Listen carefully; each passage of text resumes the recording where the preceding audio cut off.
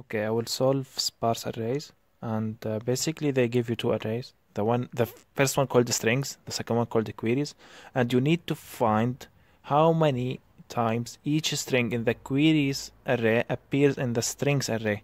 Uh, I think the simplest way to solve this is use to use the map data structure to count e how many times each string in the strings array appears, and then use the map function to uh, map the queries the each string in the queries with the result from the map uh, data structure. Uh, I think showing the code will be much easier to understand. So I would create a variable called uh, counter. It will be it's it's a map. So I will use the map data structure.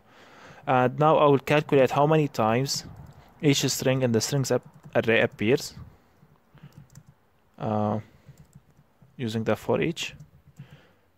Okay, so for each string in the strings array, I will check if we if we don't have it inside the counter map. So if we don't has have it, so I will just set it. So counter dot set. Uh, the key is the string itself, and the value will be one. So this is the first time.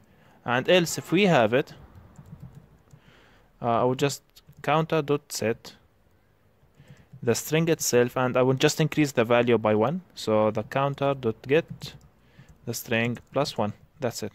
So now I have how uh, I have how many times each string appears in the strings array. And just to show you the result of this thing I will just try here uh, to run one to run one of the test cases.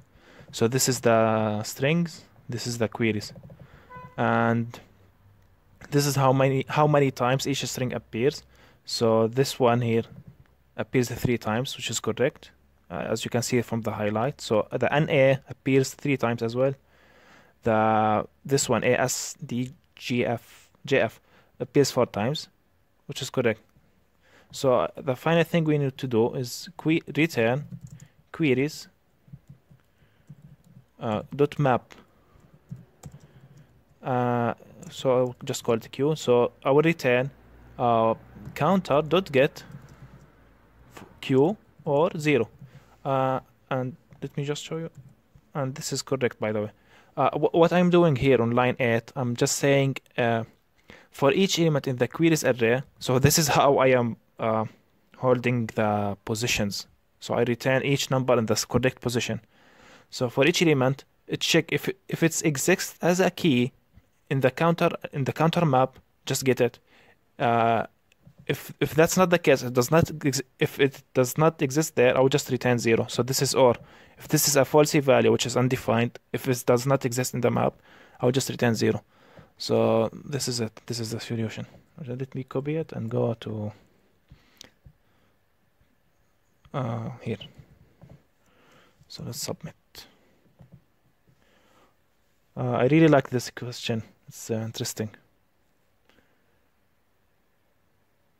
I once interviewed with uh, Amazon, and they gave me something that uh, it's it's it's much harder than this, but this is the how you start solving it. You need a map, and anyway, so yeah, it's correct, and I would rate it.